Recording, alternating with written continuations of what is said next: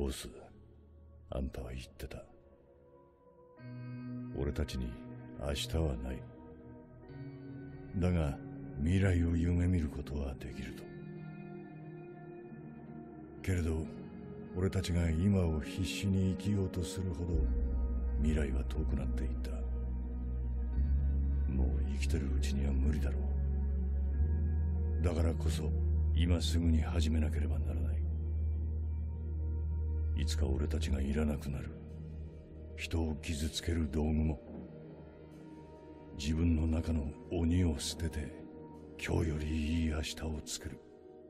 それが俺の俺たちの生きた証になる。そうだなボス。